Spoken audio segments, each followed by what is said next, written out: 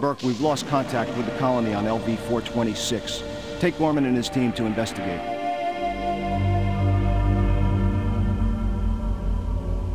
We don't want anyone to learn that the company has deliberately infected colonists in order to smuggle alien specimens past ICC quarantine. Yes, sir.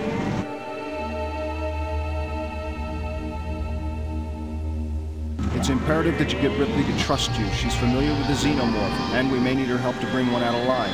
Understood.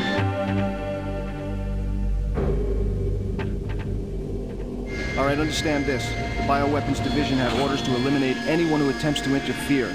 Obviously, they won't be aware of your team's mission.